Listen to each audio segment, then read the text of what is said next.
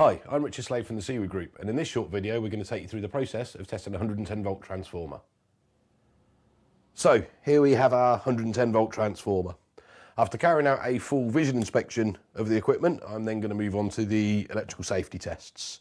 So to do this first off I'm going to plug my transformer in to my pat tester and obviously with it being a class 1 transformer I'm then going to make a connection to earth using my test probe. So at this point I'm going to go to the transformer socket outlet and actually put the test probe in the earth point of the socket. I then turn my tester on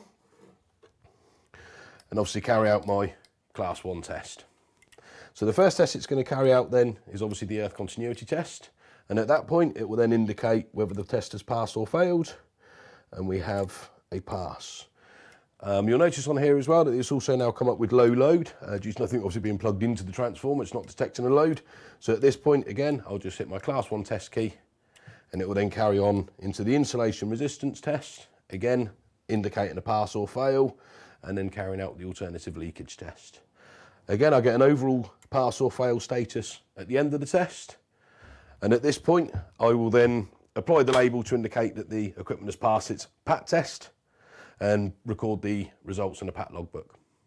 It is also good practice to, when testing 110 volt transformers, to test at each socket, so you know each socket outlet is safe, and also subsequently after that, plugging an appliance in to ensure that the sockets are functioning correctly and powering up the equipment.